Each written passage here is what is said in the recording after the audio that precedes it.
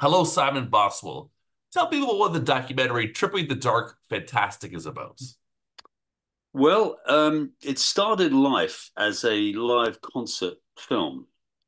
And this was just towards the end of COVID, you know, and we we planned it like almost a year in advance, thinking COVID's bound to be over by December 2021, you know. yeah. By the time And in fact, it was going to be a kind of double header concert with the Italian band Goblin. Ooh. So, and in fact, Claudio Simonetti and I hadn't really seen or spoken to each other since we both worked together on Phenomena in 1985. So that's quite a long time, quite a long time ago. But anyway, um, as it happened, we made arrangements for this concert, and a week before it happened, Claudio got COVID.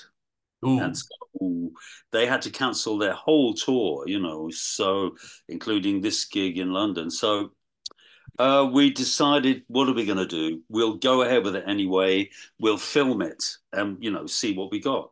And so that's how it began. So we filmed the concert in which I had a kind of expanded band of 12, 13 musicians, you know, including st- strings and then you know, brass players and flute players and all kinds of different players and, and traditional kind of rock band core to it, which is what I prefer to do. But um, so we expanded it when we saw the footage because it looked really good, and we decided to make it more about my career, a little bit more historical, doing interviews with me. And then we thought, or certainly the director, L.G. White, yeah as she's known to me, who is my wife, and oh. is also and is also the vocalist in the band. She's an amazing singer too. So uh, she's an artist principally, like a painting type artist. But um, she decided, look, I need to get hold of all these directors and people that you've worked with and interview them as well. So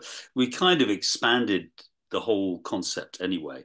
I had already filmed Dario Argento, um, Jodorowsky, Richard Stanley, you know, uh, as part of my live show, quite a few years before, actually, I, I kind of made them virtual members of the band so that they appear behind us saying very weird, strange lines in time with the music. So, um, but we did new interviews with all of them and then other people, Michele Soavi, Lamberto Bava, you know, all of the Italian crew that I'd, that I'd worked with in the 80s and then some of the newer people like Richard Stanley, Nick Willing, who's a really good English director, um, and various other people who all pop up in there. So that's what the film is.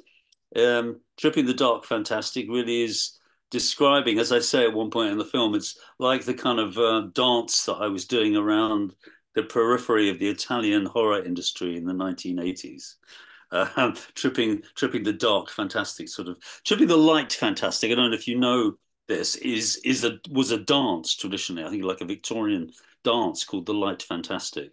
Um, so but uh, obviously with the material in most of the films that i've scored like that dark fantastic sounded much better. It's a cool title. I was wondering what it meant and so thank you for that. How's alejandro jodorowsky doing? He's uh, an older gentleman now i guess he is. I think he's, you know, he's still very lively though, and he's. I haven't seen him for a bit, for for for a hmm. couple of years, but he's still going and he's still keeping himself interested and busying himself, you know. But he's well into his nineties now, and I think, uh, you know, he, he, I think he's slowing up, and and you know, but he's still got a very sharp mind.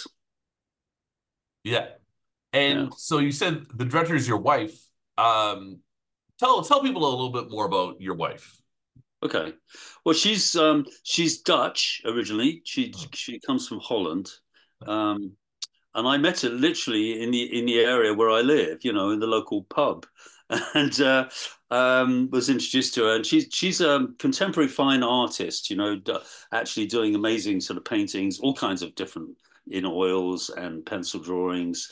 But she she's very up on the technology. So when we had shot this film, you know, she she she has already mastered, you know, all of the the kind of uh, paint the, the, sort of Adobe technology, Photoshop, and yeah. uh, you know, and animation stuff, which she can do as well, um, and really taught herself the editing pretty quickly on the on premiere.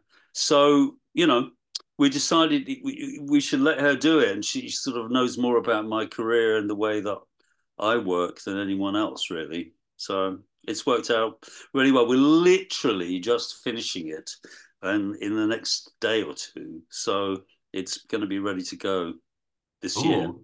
And yeah. is it going to play at some film festivals?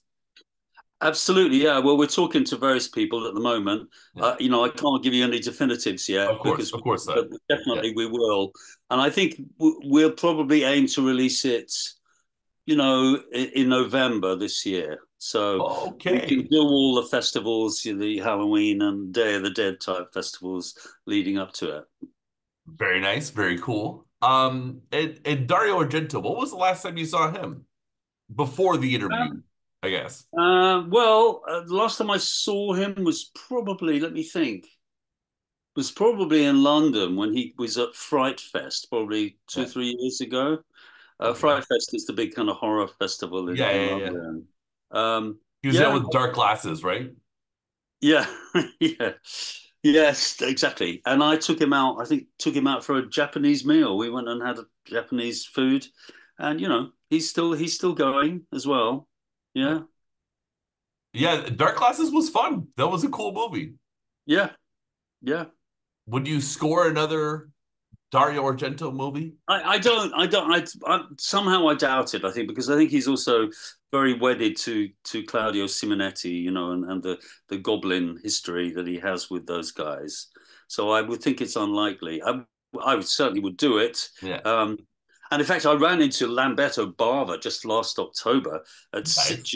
Film Festival in Spain. Yeah. And I hadn't seen Lamberto since the end of the 80s. You know, I did mm. 11 films with Lamberto Bava. Jeez.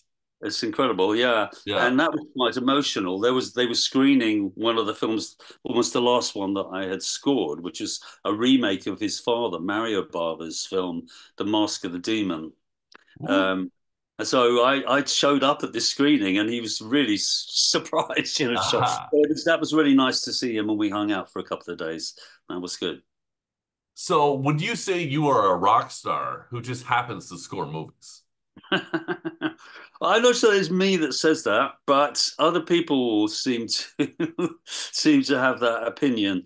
I mean, it's because I suppose, I mean, I was classically trained on the piano from the age of five, but um, as soon as I saw Jimi Hendrix on TV when I was about 12, that was it. You know, I decided, you know, sitting down playing the piano is just not as sexy as throwing your guitar around on stage and and making making much more of a racket, you know.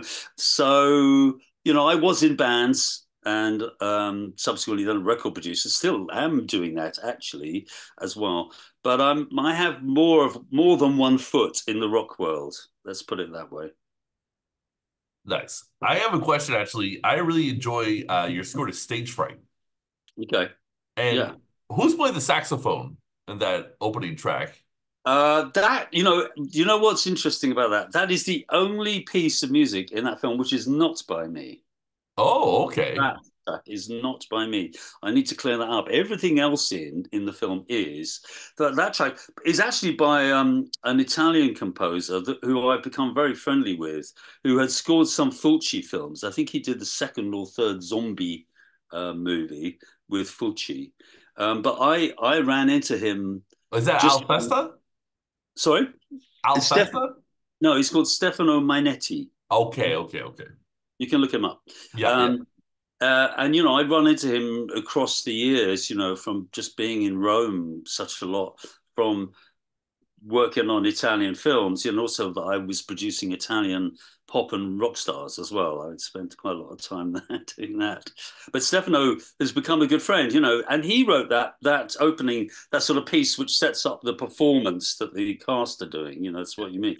Uh, yeah, people think that's mine, but it's not. It's not. Oh well, now we know. It's now been cleared know. up. Yeah. So, yeah. did you have fun at the Cannes Film Festival? Uh, we had fantastic time at the Cannes. Film Festival, especially as there is now this um, uh, fantastic pavilion, yeah. which is there, which is run by very good friends of mine um, from Mexico. who who are the people behind Morbido Festival and Morbido TV station and Morbido Radio. Even I'm sorry, they've got loads of Morbido. Um. It's one of the most fun kind of horror genre festivals you can go to in Mexico City. It's really, really good fun. And so Pablo, who runs Morbido, took over, in fact, created this fantastic pavilion specifically for genre film, you know, makers and film lovers which is great because it feels like one has a one's own like niche in Cannes because the Cannes Film Festival can be pretty crazy. So I'm sure you know it's you know there's a there's the whole lot centered around you know the the the red carpet screenings and mm-hmm. all the American stars that come in. But as apart from that, it's a huge film market with people buying and selling movies from all around the world. And it's nice just to have this place where you can go and relax actually now and meet everyone else from from genre, the world of genre, you know. So yeah, that's, that's it was a good time we had there. And you were gifted a key to the pavilion. What was that moment like? I was, uh, I was indeed. Well, I, I knew that something was up, but I wasn't told that, I, my wife was not allowed to tell me. Okay. All, I, all, I, was told was that I had to, like, you know, wear a nice shirt Right, right, right, right. You know, wear a nice shirt and be be you know uh, be prepared for um, to look a bit more respectable than normal.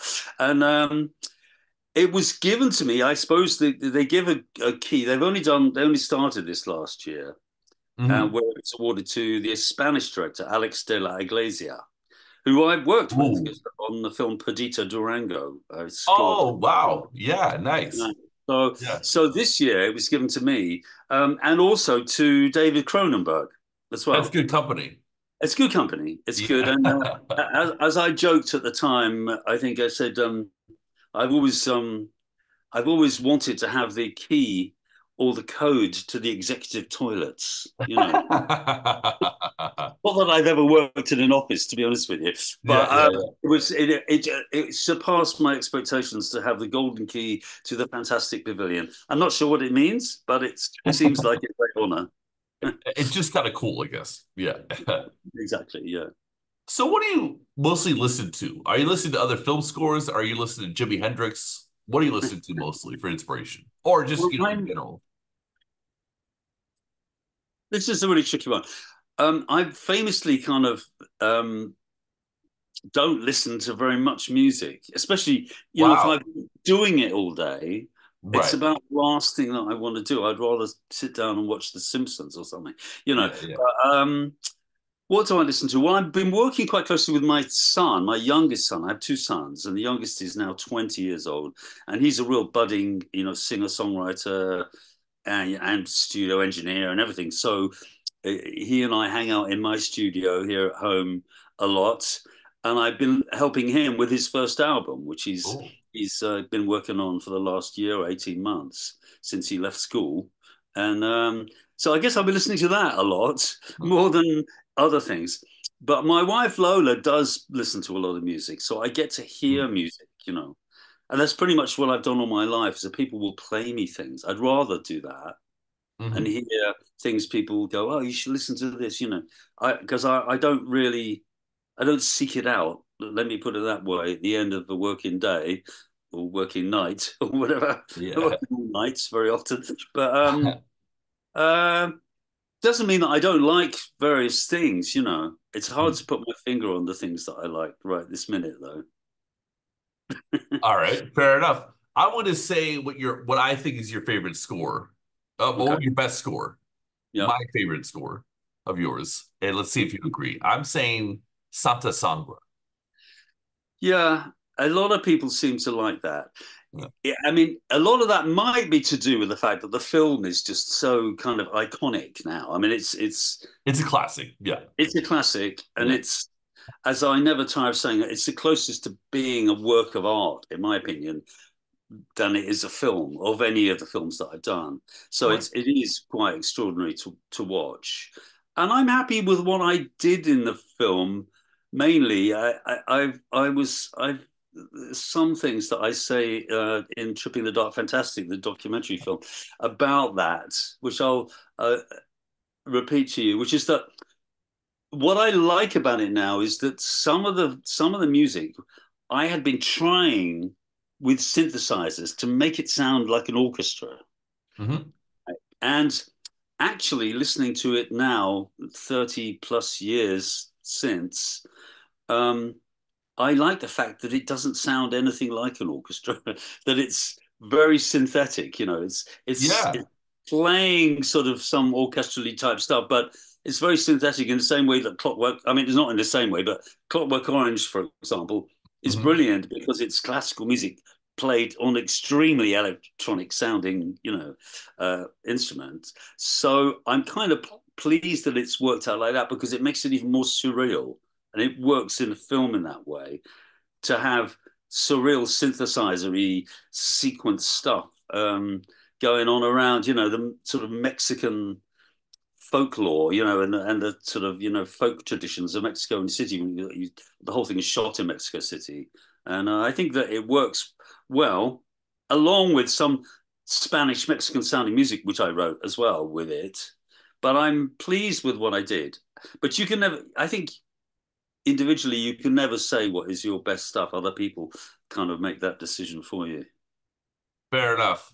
Simon, thanks for your time. I, I really enjoyed interviewing you the last time, and uh, it's, it's been a real treat to talk to you again. What yeah, are your plans for the summer? Uh, well, we are sort of preparing for the release of Tripping the Dark Fantastic, I guess. There's still a lot of legwork to do on that um, in terms of doing deals with people. We're pretty sure we've got the US release sorted, but um, I'm not going to say anything about that just because you never know. But, yeah, uh, yeah. yeah, but um, we're going to be doing that in the summer. There are various films coming our way. I've just been approached about doing a a kind of comedy drama, which is shooting during the summer, um, which is directed and written by a friend of mine that I've known for many years. Um, and I, the previous film I had done that he he wrote or adapted is, is Blithe Spirits, which is like um, based on a Noel Coward play.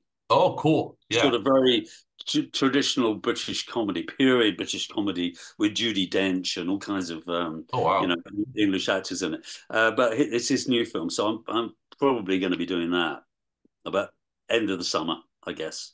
Yeah. Well, thanks so much for your time. You're very welcome, and stay in touch. Absolutely.